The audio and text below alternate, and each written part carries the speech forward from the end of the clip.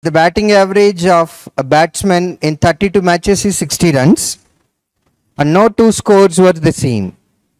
Difference between highest score and lowest score is 174. The average of the remaining scores is 58. What was the highest score?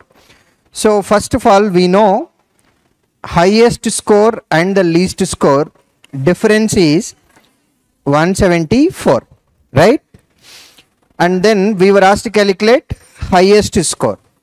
Simple logic highest score must be definitely more than 174 how many options are there?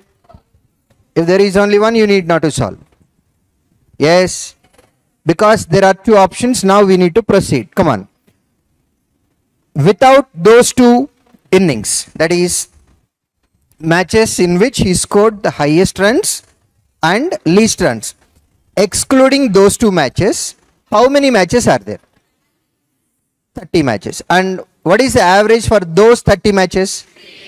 50 remaining how many matches are there? In those two matches also if at all if he scores 58 and then 58 what will happen to the average? Average will be same. But including those two matches what is the average?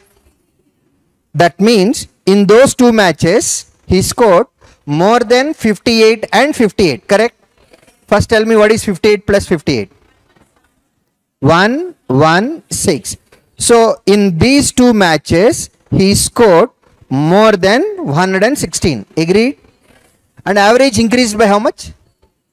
Average increased by 2 for how many matches? Is it for 30 matches or all 32 matches?